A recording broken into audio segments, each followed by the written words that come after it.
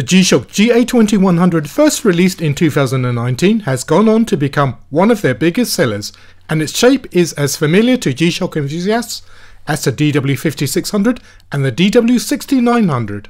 Since its launch many variants have been released including ones equipped with tough solar and steel cased variants.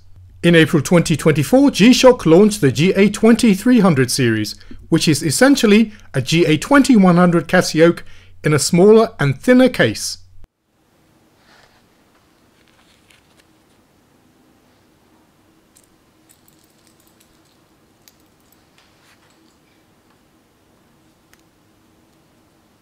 Today we'll take a look at it to see if it's worth getting.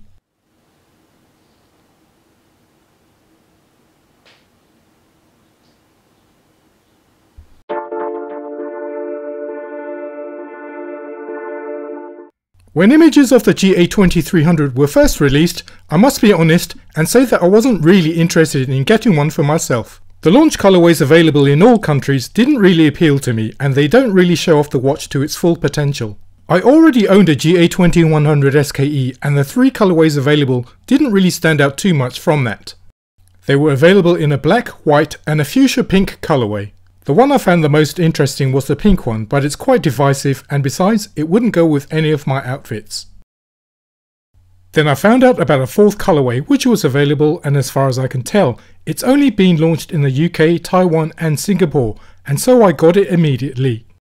This is the GA2300 8A which has a light grey case and strap, a black dial and orange coloured hands. In my opinion it looks quite striking and so I'm unsure as to why it's only on sale in a few markets. I'm glad I didn't hesitate to pick up this variant because it's currently sold out and I'm unsure whether it's a limited edition or if they will be restocking it again. The watch is being marketed as being unisex and so the dimensions are smaller than the GA2100 coming in at 45.4mm in length, 42.1mm in width and 11.6mm in depth. And here's the two watches side by side so you'll get a good idea of the size difference. The weight is also marginally lighter, coming in at 49 grams, and even though it doesn't weigh much, you still get the G-Shock build quality that you've come to expect from the brand. The toughness in the GA2100 was provided by a carbon fibre reinforced inner case, or what G-Shock calls the carbon core guard. That is no longer present in the GA2300 and instead they're now using their patented hollow core guard structure to provide the shock resistance. I think that there must be a misprint on the tag that comes with the watch because it's still showing the carbon core guard symbol on it. One of the things that intrigued me about the watch and wasn't immediately apparent from the marketing photos were the purpose of the plastic attachments at the ends of the straps. They're not there just as a visual element, but they act like strap adapters, allowing a 22mm strap to attach to an 18mm lug width. They also help to center the watch whilst being worn on the wrist. The band and outer case material are made of PU resin and feel pliable and soft to the touch, so you won't need a breaking in period. And on the back is an engraved steel backplate held down by four screws, Water resistance like all standard G-Shocks is rated at 200 meters. Inside the case is a brand new 5725 module and this is powered by two SR726W cells which should give it about 3 years of power depending on use. You also get world time from 48 cities, 5 alarms, a stopwatch that can count up to 24 hours, and a countdown timer that can count down from a minimum of 1 minute to a maximum of 24 hours. The module also lets you set the duration for the backlight and the afterglow can be set to turn on for either 1.5 seconds or for 3 seconds.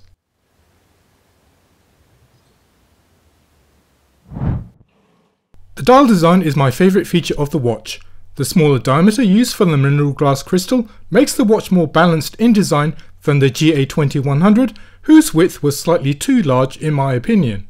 In contrast, the size of the GA2300 should suit people who have wrists of 7 inches or less in circumference. For reference, my wrists are 6 and a quarter inches. I also like the X going across the dial and the way it's used to divide up the two LCD panels. The feature which makes the dial pop are the orange painted Neobrite hands. They really stand out in daylight against the black face, but at night time they don't glow that brightly. But thankfully the Super Illuminator backlight works quite well. The orange font used for the day markings is also a nice touch. During certain times of the day, the hands can lie in a position where they obstruct the LCD panel, which could make operating features such as the stopwatch difficult. Casio have thought about that and you're able to move them out the way by holding down the mode and light button.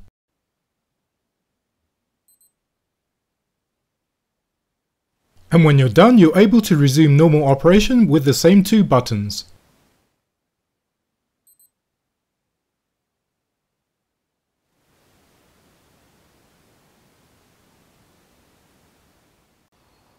Let's take a look now at the disadvantages of the watch and there is only one that I can think of and that is the digital part of the display. In broad daylight it's just about readable but at night time it's almost impossible without using the backlight. I think that they could have used the opportunity when designing the new module to come up with something better while still retaining the same aesthetic.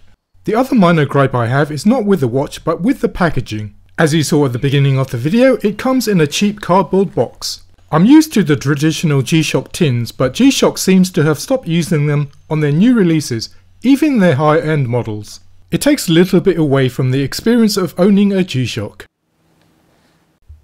Let's take a look now at the diagnostic screens of the GA2300, and you can also use this feature to legit check your G-Shock. To go into them, hold down the adjust, the mode and the start buttons from the home screen.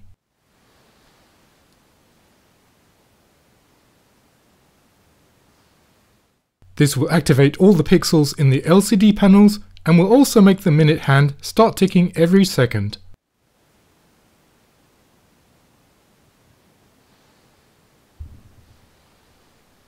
You can continue to scroll through the other diagnostic screens and finally exit with the start button. This screen shows the firmware version used inside the module and as you can see is exactly the same as that in the GA2100.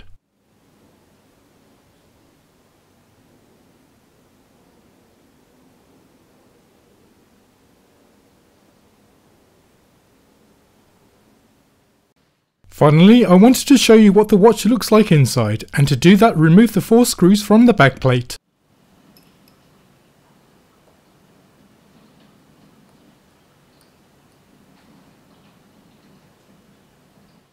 At the back is a silicon pad to provide the shock absorbency, and setting that aside reveals the module.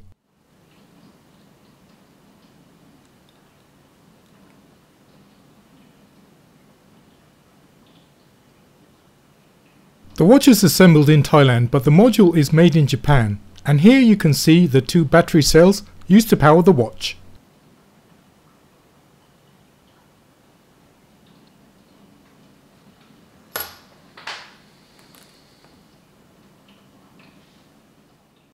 Overall I think that the GA2300 is a great evolution of the original GA2100. The original colorways offered at launch may be a little bit uninspiring but I'm sure many other variants will be offered in the future which will pique your interest.